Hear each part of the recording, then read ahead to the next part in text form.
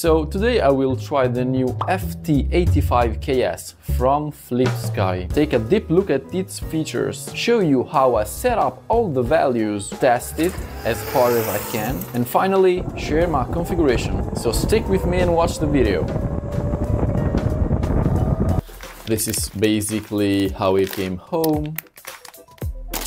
We have some free heat shrink are really nice. Also the male 8mm bullet connectors, some spare cables, and finally the ESC. Let me say this thing looks quite nice.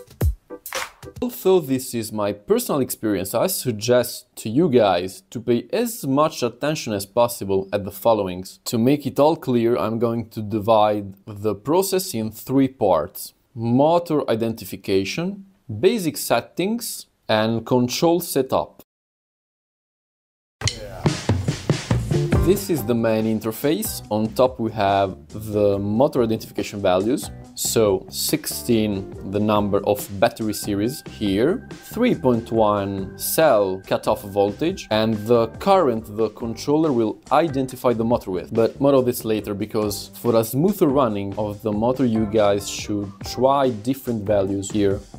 Before even starting the identification, we need to do couple things. If you have a single ESC like me, please remove from CAN bus the checkmark. Then select the startup mode, it's all sensors in my case. Make sure to select the right temp sensor. By default, all FlipSky motors use NTC 10K. I'm telling you, this will make identification fail because with wrong sensors, ESC is reading more than 100 degrees, which is over the protection temperature. So let me select the correct one for my motor. Right setup and run identification. Remember that this will spin your motor and make weird noises. My personal tip is to remove chain or belt for more precise readings. You should now see results like this.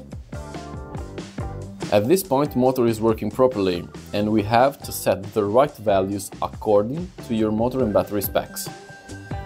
One cool thing is this power on beeping hint. You can also choose the sound level off.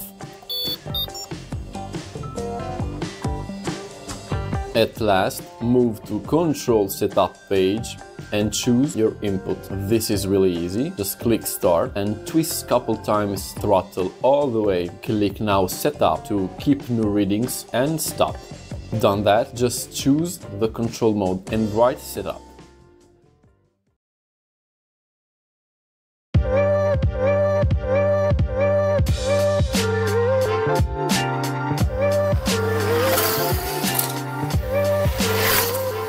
Música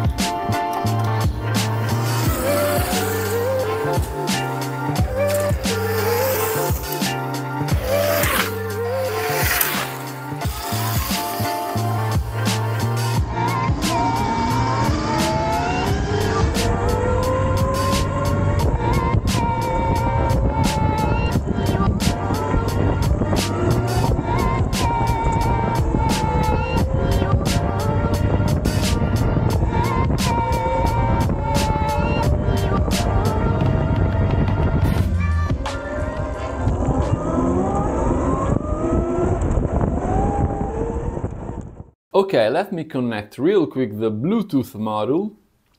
This thing is mandatory if you want to tune up your ride while testing. Just download the app from this QR code and you're good to go. You can do everything from here like motor identification, control setup, but to me this is essential for pumping all the stats for more torque and max speed. Right now throttle is at level 4, so zero lag when asking power. These are my current stats with 100 amps field weakening and I gained so much more torque and max speed and still room for improvements. Now this upgrade definitely worth it. Hope you guys enjoyed the video and see you next